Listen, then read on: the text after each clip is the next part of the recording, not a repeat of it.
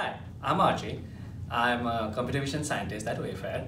Um, and some of the things that I work on is a human in the loop computer vision system. So today I wanted to share some of the principles that we use to be able to build this system. Um, I'm going to start off by saying that we have successfully implemented this and have seen a lot of value in doing this. It only involves working with a lot of engineering and business teams, which not only helps us build this system coexistively, but also cohesively, where we can continuously iterate on it. So before I get started, I wanted to give you a little bit of preview on what it looks like to build a model. As data scientists, all of us are looking to build models. So let's get started. Um, so even before we think about building a model, the first thing that we want to look at is what is the business problem that we're trying to solve. So always try identifying a business problem that has direct impact. So once we have identified a business problem, the next piece on us is to kind of break this problem down into a data science problem. So for us in computer vision, we break it down into a computer vision problem.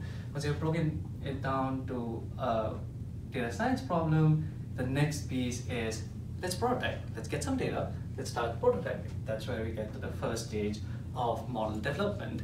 So we start doing prototyping. We get to a stage where like, oh, well, we, I think we're getting good results. We immediately switch to the second step, which is test. Offline test as much as we want, as much as we can. We don't want to spend a lot of time doing this. We can as soon as we have done two, three, four, five iterations, we're gonna quickly start thinking about how can we deploy this.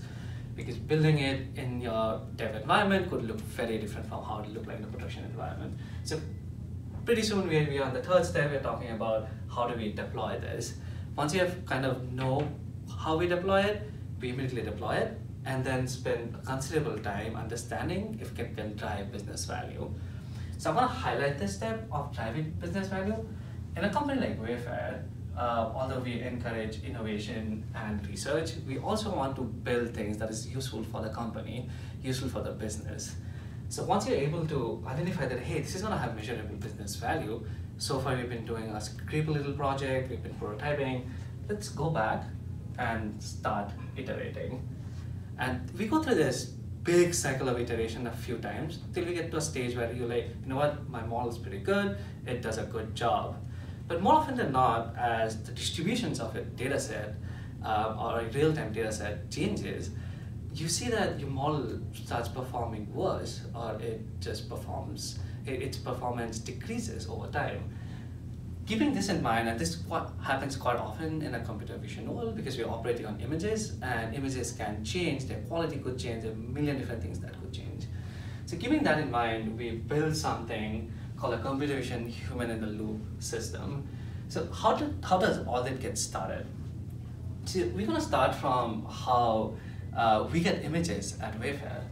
So images at Wayfair generally come from our suppliers. So suppliers uh, who are partners, who wanna sell products on our platform, say, hey, these are the products we're gonna sell and these are the images associated with it. So we get these images, they go to something called a tagging tool. Now this tagging tool is powered by a live service uh, which is again powered by uh, AI model that we have designed. Uh, in this tagging tool, every image gets automatically tagged uh, with all the details that we want about it. Once that's been done, we have mechanical turks or uh, workers uh, who look at these images and their automated tags and correct the mistags, the, the, the tags that aren't right or the model did not make a correct prediction. Once we they correct it, we have good data at that point. So this is where we land up with good data. We put that in our Wayfair catalog or our Wayfair directory. Now this data that offshore uses to correct mistags, that is very useful information for us, for us to iterate on the model and make it better, understand where the gaps are. So we take that data and we start analyzing where are the gaps, how can we make it better. So we take all of this, create, recreate an AI model that is better than last time. Once we have that, we go through the deploy process, we take that, put into a live service.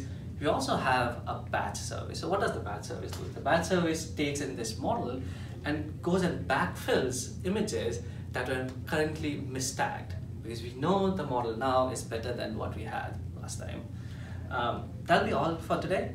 Um, thanks for listening. Please check back soon to hear more about projects at Data Science. Thank you.